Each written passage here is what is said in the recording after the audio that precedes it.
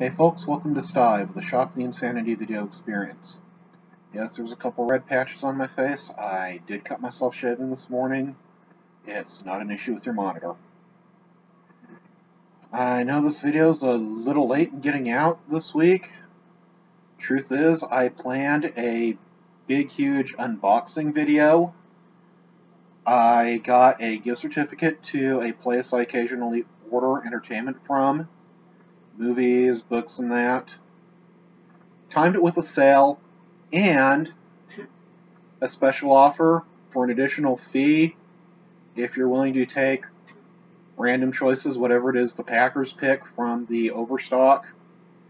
You'll get more than what the overstock than what you paid. And idea for the video was to show what can happen if you're willing to be smart time everything, gather up your gift certificates, even take a chance on a random grab bag.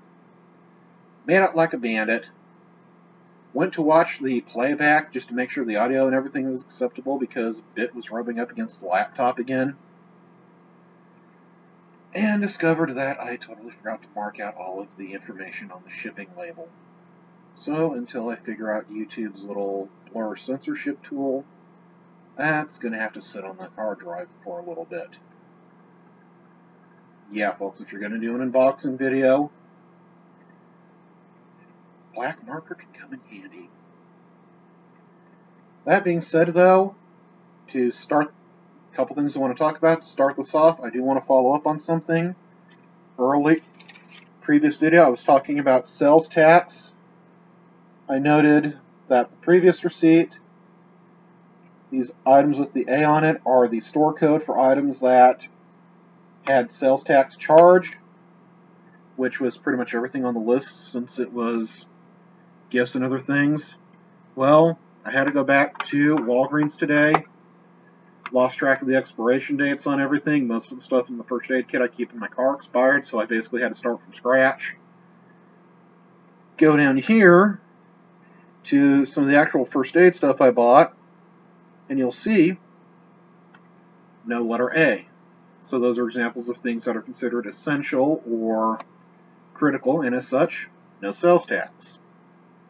As long as I got the receipt up, I want to point to the above.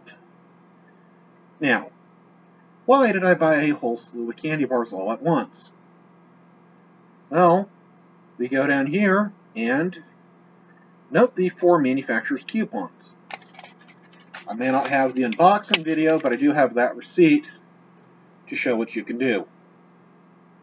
The coupons I had, a dollar off on two of a particular variety of candy bar. Walgreens had that bar on sale for 59 cents a pop. And you can kind of see 8 at 59. Now, dollar off on two translates into 50 cents off on one. 59 cents on sale minus 50 cents. Eight candy bars for 9 cents each. And oh, by the way, this is Walgreens. Walgreens gives rewards points for Rewards Club members. They had another special going. Spend a minimum of $10, get five times the bonus points for purchases. And as you can see from looking at the receipt, the first aid stuff I got put me over that before I even touched anything else. So, candy bars, 9 cents each, but 5 times the points on the original 59 cents each. Between the 5 times the points on that and everything else, basically, folks, if I wanted to, I could go there one day, cash in, $20 gift certificate. The printer I've got hooked up to my laptop, free. I saved up for a $30 gift certificate at Walgreens at one point, just went, cashed in, free printer. Like I've been saying, folks, that's what you can do if you're smart with your money. You look at your coupons, you look at your sales, you time everything right, and if there are rewards cards for the stores you shop at a lot, Get those, especially if there's no fee for membership. Just let your points roll. One more thing before I go. There's going to be a link in the description. It was a video was recently brought to my attention. It's a 20 minute bit in which individuals who defected from North Korea are given a chance to sample American style barbecue for the first time. Not only is it food that has been cooked American style, it's also a variety of American style sauces, including, by the by, Rudy's brand sauces as a representative of Texas. Those of you who live down here know there's a Rudy's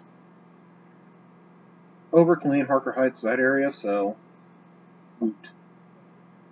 Now, the video may be a little hard to watch in some places because the individuals are pretty candid. They're talking about some of the privations they experienced living in North Korea at the low end of the totem pole.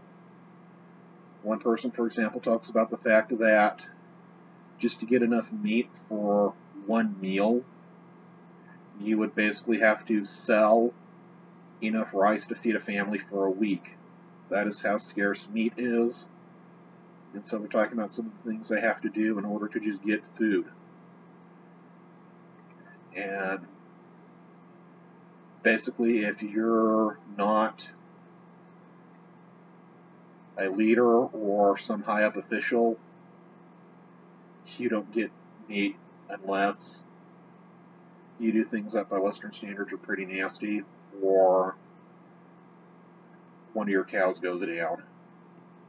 In fact, another person was talking about how North Korea, it's pretty much they will execute you if you are eating beef without permission and you are too low a class. So, I'm just going to link to that video. It's rather educational. They do talk about American. The hosts are talking about American style barbecue and sauces in order to explain things to the individuals.